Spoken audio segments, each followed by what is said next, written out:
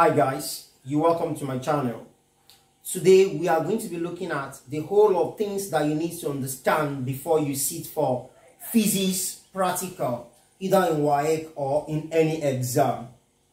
Number one, you need to first of all ask yourself that what exactly is examiner expecting from you as a student who is sitting for WAEC practical or whatever physics practical you might be sitting for. I want you to understand something. If you are very conversant with this channel, you see that we teach physics just for you to understand physics, not for you to know physics. It's never my problem for you to know physics because me, myself, I don't know it. So, how can I give what I don't know, what I don't have?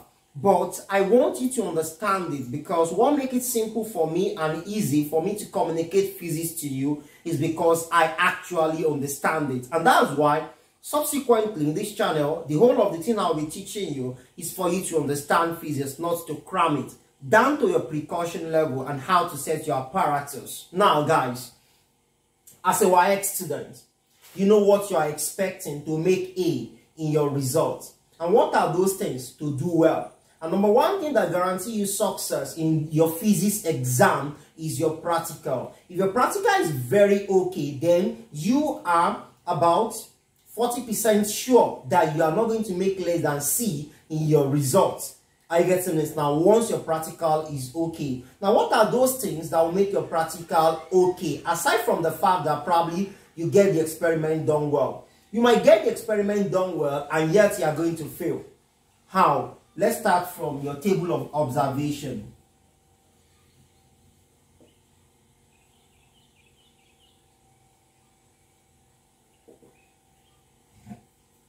In your practical, your table of observation is key because examiner will never and never go back to the laboratory to carry out that experiment given to you. They will never do that, trust me.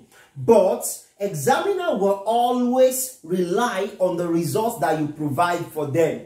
Although they have idea of what the results should look like, but they rely more on what you provide for them as the accurate result. And how do you pre uh, present your result that will make examiner be sure that yes, this person actually know what he or she is doing? Number one is to pay maximum attention to the number of decimal places that you are putting your result. Now, how do we know the number of decimal places to put our result? Get it clear. I've been saying it in all of my lectures that when you are dealing with practical, you should know this and that. And I will still repeat it again just because of you. Now watch you will be given some values, let's say given values. Given values. What do I mean by given values? The value that reflects in your question. For example, you are given mass of 50 gram. Are you getting this now? And you are asked to suspend the mass on a meter rule and adjust the meter rule until it's balanced horizontally record the balancing point of the meter rule and repeat the experiment for the value of mass equal 70, 80, 90, 100, 110. Now, those 50, 60, 70, 80, 90, 100 that we mentioned, all these are given in the question. So this is what we refer to as a given value because you are told in the question. Are you getting it now? Uh -huh. So, how do you report this? Once it is a given value, you leave it in one decimal place. Am I making sense? Once it is a given value, you do what? You leave it in one decimal place with an exemption. There is an exemption to this. What's that exemption? Is that if, for instance, the given value is 2 centimeter, 3 centimeter, 4 centimeter. That is, the given value is in centimeter. For example, you are provided with a potentiometer, a connecting wire, a key, and two ohm standard resistors with an ammeter and a jockey. Are you getting this now? Connect the circuits as shown in the diagram above. Are you following me? Now, place the jockey at 10 centimeter mark and record the value on your ammeter. Are you following? Then repeat the procedure, evaluate I inverse and repeat the procedure with other values of L such as 12 centimeter, 14 centimeter, 16 centimeter, 18 centimeter. You know, that is also a given value. But that given value is in centimeter. Because it's in centimeter, when you are reporting a result in centimeter, you need to leave it in two decimal places. Therefore, that is the exemption that I'm talking about. So if the given value is in centimeter, then it has to be in two decimal places. Are you following? Please excuse me, let me check something.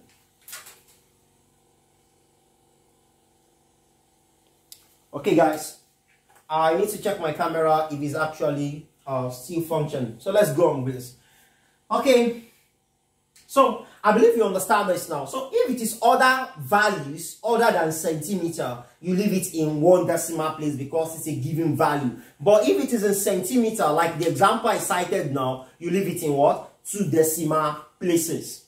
Now, your serial numbers, you have to take note of that. Your serial numbers, that is the numbers of time that you repeat the same procedure. Are you getting this now? Is what we refer to as serial number. Those ones, they are not meant to be in any decimal place. You just add dots to them to make them significant. Are you getting this now?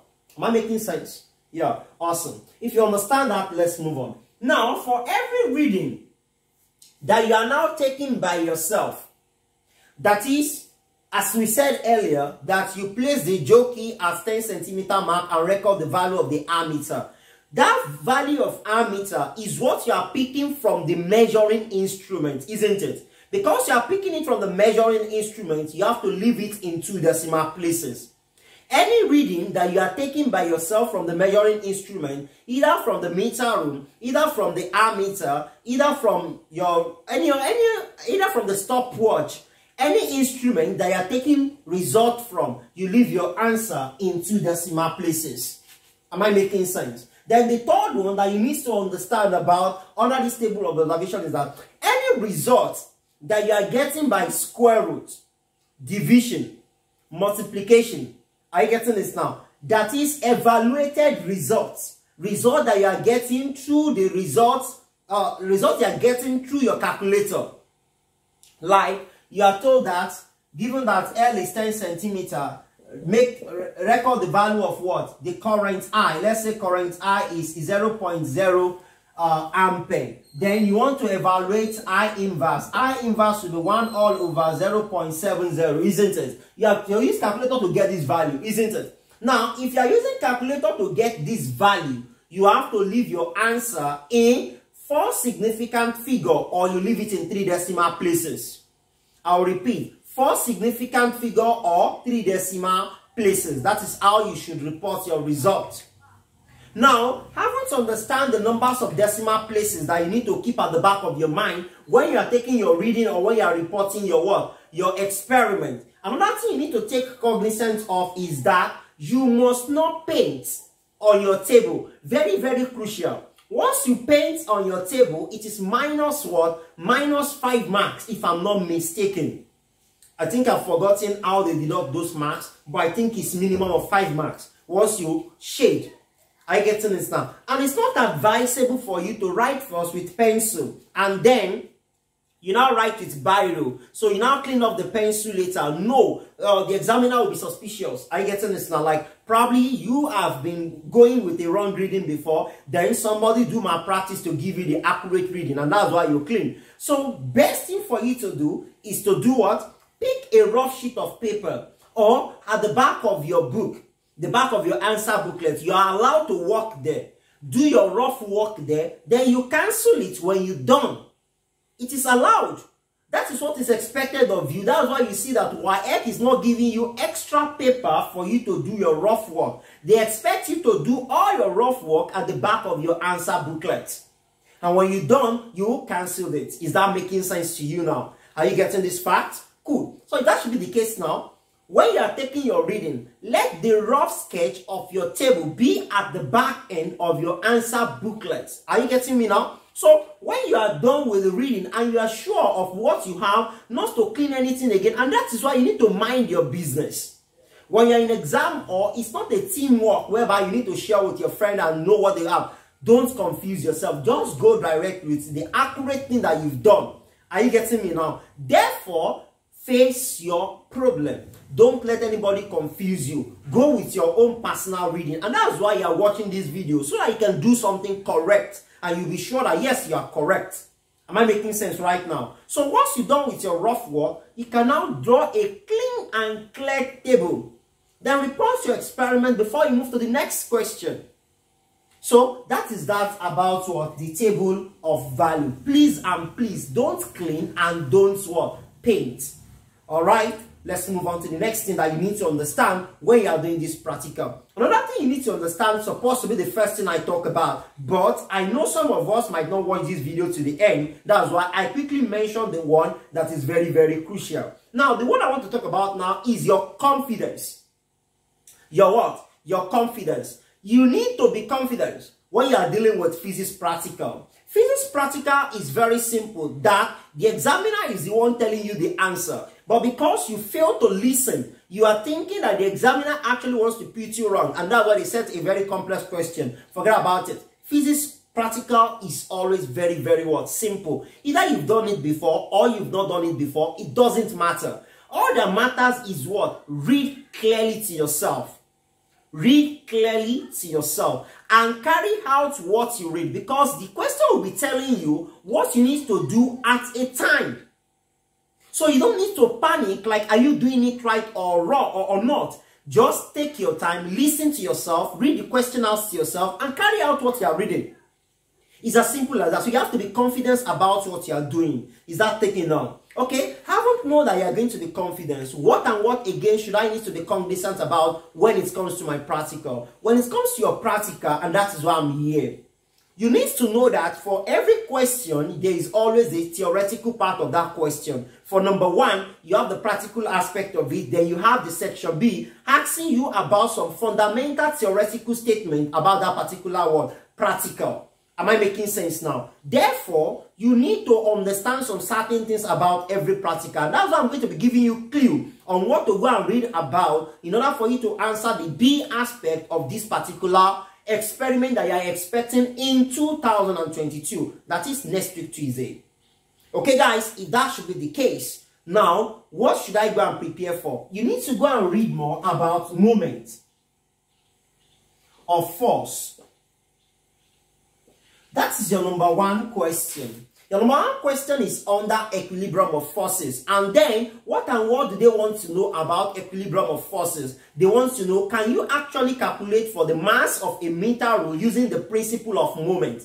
Can you? If not, you have the time to go and prepare for it now. Otherwise, you can check the description box. I have a link for you there where I discuss moments in detail. That is equilibrium of forces. I discuss it as a topic. You can watch there. And if you're a very regular student in this particular channel, you must have watched the video. So just go and refresh your brain and read more to it. So you'll be asked some questions such as what is moment of a force? What are the conditions for equilibrium of a parallel forces? What are the conditions for equilibrium under non-parallel forces? Those are the likely questions under number one. Okay, number two. Your number two question is also mechanism. Wow, you're surprised that this year you're having two mechanisms. Even a teacher asked me this afternoon, how come we are having two mechanisms this time around? This is the first time I'm seeing it, and a colleague answered him immediately. WAEC has the choice to do anything they like. So this year, you are expecting what? Two mechanisms equilibrium of forces. And funny enough, should I tell you something? The two mechanisms, they are under the same topic, equilibrium of forces. And the second one is talking about what? Flotation. So what and what do you need to go and read about flotation? You have to understand the Archimedes principle very, very well. Understand the Archimedes principle, understand the floating law.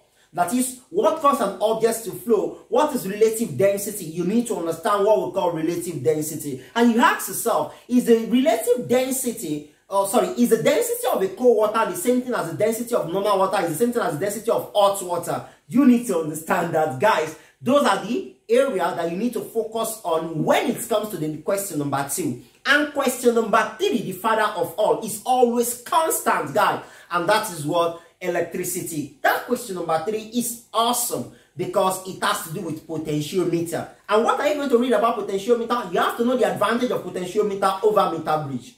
Absolutely, you need to know that. The advantage of potentiometer over what? Meter bridge or Wheatstone bridge, you need to understand that. How can you use potentiometer to measure resistance of a wire? You need to know that. How can you use potentiometer to measure internal resistance of a cell? You need to understand that. And you need to understand what? Arrangement of, uh, arrangement of uh, resistance in the cycles. In a nutshell, read everything that has to do with what? Ohm's law. Then the last part of this video is the precaution aspect of it. Guys, you have always been cramming precaution and that's why the first thing you want to ask this question, you want to ask the teacher in the question, in, in, the, in, the, in the practical class is that, what will be the precaution? What will be the chill? Precaution is not a language that you don't understand. Precaution is what you do to ensure accurate results. Remember, this channel is not to build you to know, but it's to build you to understand physics so that you can talk physics. Okay, if that should be the case, let me give you a very quick hint about precaution. When you are dealing with your experiment, look at all of those things that you put in place in order for you to ensure accurate results. Take for instance, if you are dealing with electricity, you want to clean the terminal of what? Of all your apparatus to ensure that the connecting wire is touching the actual what terminal. Otherwise, if it is rust, the connecting wire will not be connected to the? To the uh to the terminal, and then the instrument might not work. So you clean that before you start doing your experiment. That is your number one precaution. Number two, you take your reading two eyes because you want to ensure accurate results. It's also a precaution. Number three, you calm down and look at it to avoid parallax error. It's also what? It's also a precaution. So you just have to be cognizant of what and what you are doing to ensure accurate result. And the last aspect of it is how to plot graph. Many students used to have this problem of how to plot graph. And they always ask me this question, when is my graph said to be correct? Is it when I'm having alternate points outside or something? Don't disturb yourself. I have provided you a detail. I've provided you what? A detailed video on how to plot graph, the do and don't of graph. You will learn it in that particular video. And you can check the description box to know and watch that particular video. And if you're a very regular student on this channel, you must have watched that. And don't forget, this is where I'm going to be stopping now. And by tomorrow, first thing tomorrow, I'll be dropping video on mechanics and electricity. Then later in the day, I'm going to be dropping video on the second question, and that is our flotation. The reason why I'm not going to drop the question, the uh, what's it called? The video sequentially like drop number one number two number three is because i'm still finding it difficult to get two gram of mass that i'll be using for the second question. And i'm very sure i should be able to get that in time soon before your what? Before your exam. So stay tuned to this channel. If you are yet to subscribe don't forget to do that and turn on the notification bell so that anytime i drop video you will be the first person to be notified. Oh Thank you guys for the 7,000 subscribers. I really appreciate you guys. Let us do more. We are going to 100,000 subscribers and I know we can do it. We have millions of students in the whole world and I believe you are learning one or two things in this channel. So share within your friends. Don't be stingy. Is that taken? So without any further ado, we'll meet in the next class. Thank you guys.